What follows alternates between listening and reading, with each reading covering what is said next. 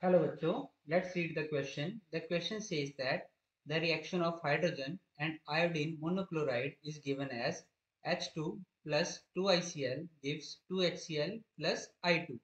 The reaction is of first order with respect to H2 and ICl. Following mechanisms were proposed. Mechanism A H2 plus 2ICl gives 2HCl plus I2. Mechanism B H2 plus ICl gives HI in slow step. HI plus ICl gives 2HCl plus I2 in fast step. Which of the above mechanism can be consistent with the given information about the reaction? Option A, A and B both. Option B, neither A nor B. Option C, A only. Option D, B only.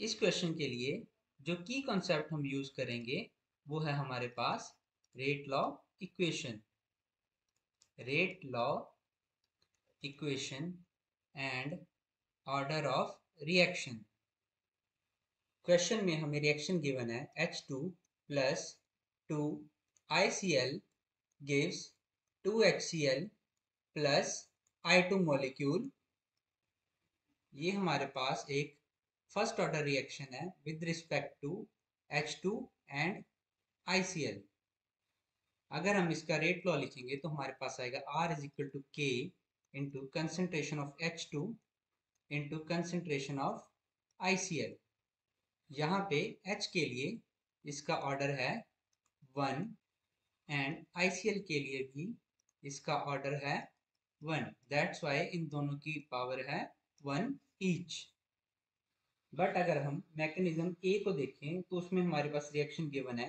H two plus two I C L gives two H C L plus I two molecule यहाँ पे अगर हम rate law लिखें तो हमारे पास आएगा R is equal to K into concentration of H two into concentration of I C L raise to power two यहाँ पे हमारे पास order of reaction with respect to I C L R है two और ये हमारा wrong है।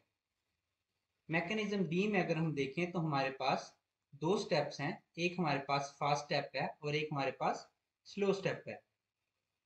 जो हमारे पास स्लो स्टेप होता है, वो हमेशा रेट डिटरमाइनिंग स्टेप होता है और उसी से ही हम रेट ऑफ़ रिएक्शन फाइंड करते हैं। और वो है हमारे पास H two plus I C L gives H I and इसके लिए अगर हम रेट लॉ लिखें तो हमारे पास आएगा R is equal to K into concentration of H2 into concentration of ICl यहाँ पे H2 एंड ICl दोनों के लिए ही ऑर्डर ऑफ़ रिएक्शन हमारे पास आ रहा है वन एंड जो ओरिजिनल रेट लॉ हमें गिवन है, वो भी इसी रिएक्शन के साथ सेम है. That is R is equal to K into H two raise to power one into I C L raise to power one means that जो बी मैकेनिज्म है हमारा, वो correct.